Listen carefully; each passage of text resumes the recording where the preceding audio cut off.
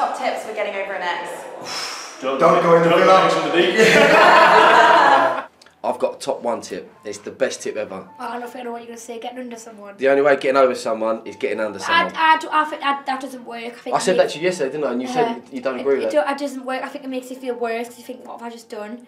Like you've Yeah, I'm not saying just jump straight into bed with someone, but I think pick for boys up. it works. For girls it's different. If it for, for a girl though, for a boy, yeah, just get under someone. I But think for a the only way to move on for a girl is to just find someone else and Yeah. get feelings with someone else. That's the only, Definitely. only way. go and pamper yourself, have a little Get a new hair. Always got to get a new haircut. Yeah, and then just go out and start dating again. Just Yeah. straight pick yourself up, straight back out. I'm not saying you've got to sleep with them straight away. I mean, it always helps.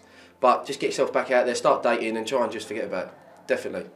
Okay, I'll bear that in mind. Do you agree? Why are you single? No, no, I've got a boyfriend. I knew you were flirting. She's stunning. I know. Yes, why was just neck on? I'm gonna keep this in the uh, edit, final edit. I'm joking. Um, what? Um, I'm not. my- you should be this side of the camera. oh, okay. what about me? No, you should stay as well. Oh, okay, right. Oh my god. Hey! Zane's got a, a, a great voice.